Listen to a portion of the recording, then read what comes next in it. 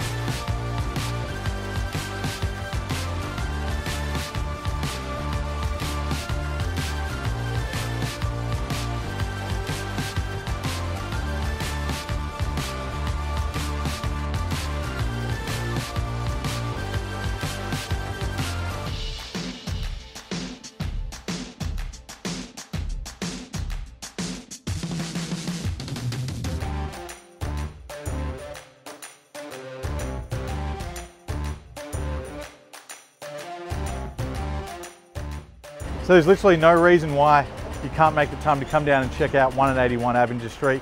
Get on the tram, get an Uber, get a bus, get on the bike, or even drive down. This is well worth a look.